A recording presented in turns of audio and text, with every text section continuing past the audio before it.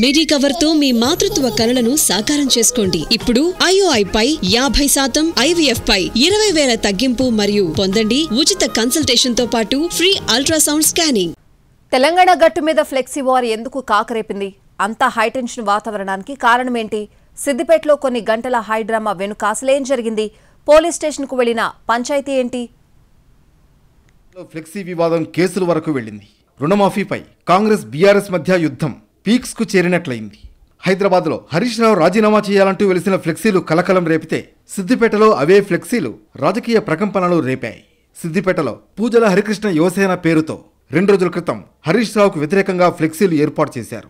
రుణమాఫీపై కాంగ్రెస్ ఇచ్చిన మాట నిలబెట్టుకుందని హరీష్ రావు రాజీనామా చేస్తానన్న మాట నిలబెట్టుకోవాలన్నది వాటి సారాంశం.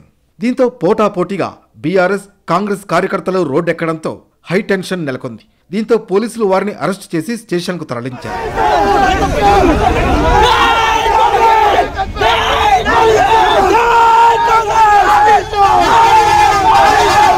ఇది జరిగిన కొద్దిసేపటికే కాంగ్రెస్ కార్యకర్తలు సిద్దిపేట ఎమ్మెల్యే క్యాంప్ ఆఫీసులోకి ప్రవేశించి కేసీఆర్ ఫోటో ఉన్న ఫ్లెక్సీని చింపేశారు.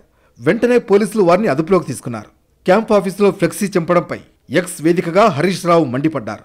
ఎమ్మెల్యే నివాసంపైనే దాడి జరిగితే సామాన్య జనాల పరిస్థితి ఏంటని ఆయన ప్రశ్నించారు. తర్వాత కాంగ్రెస్ కార్యకర్తలు బైకులపై ర్యాలీగా ఎమ్మెల్యే క్యాంప్ ఆఫీస్కు వెళ్ళి సీఎం రేవంత్ రెడ్డి ఫ్లెక్సీ పెట్టే ప్రయత్నం చేయగా పోలీసులు అడ్డుకున్నారు. ఈలోపు బీఆర్ఎస్ కార్యకర్తలు ఎంట్రీ ఇచ్చి ఆ ఫ్లెక్సీని కాస్తా చించేశారు. ఇలా రెండు పార్టీల మధ్య ఫ్లెక్సీ వార్ సెగలు పుట్టించింది.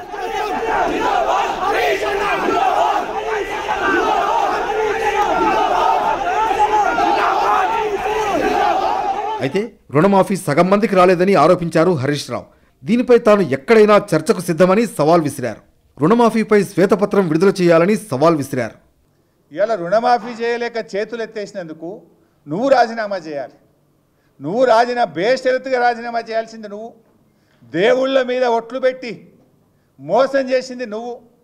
సిగ్గు లేకుండా ఇంకా వెనకటికో సామెత ఉంటుంది. చోరు ఉల్టా కోత్వాల్కు డాంటే అంటారు.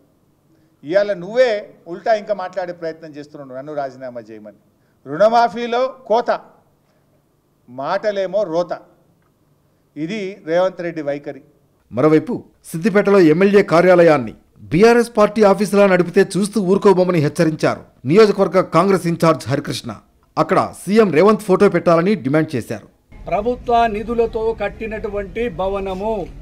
ఆ భవనంలో ఎమ్మెల్యేతో పాటు మా ముఖ్యమంత్రి రేవంత్ రెడ్డి గారి ఫోటో ఉండాలి. కానీ ఇక్కడ ప్రాతినిధ్యం వహిస్తున్నటువంటి హరీష్ రావు ప్రోటోకాల్ ఉల్లంఘన చేసి మా ప్రభుత్వం ఏర్పడిన ఎనిమిది నెలలు అవుతున్నా కూడా ఇంకా కేసీఆర్ బొమ్మ పెట్టుకొని గులాబీ కలర్ పెట్టుకొని ఆఫీస్లో కూర్చుంటా ఉన్నాడు. కాబట్టి ఈ ఆఫీస్లో మా ముఖ్యమంత్రి రేవంత్ రెడ్డి గారి ఫోటో ఉండాలని చెప్పి మా కార్యకర్తలు మేము తీసే ప్రయత్నం చేసినాం. మొత్తానికి ఇలా పోటాపోటీ ఫ్లెక్సీ వార్తో సిద్దిపేట హీట్ ఎక్కింది ఒకరిపై మరొకరు పరస్పరం కేసులు నమోదు చేసుకున్నారు. ఇది ఎంతవరకు వెళుతుందన్నది చూడాలి.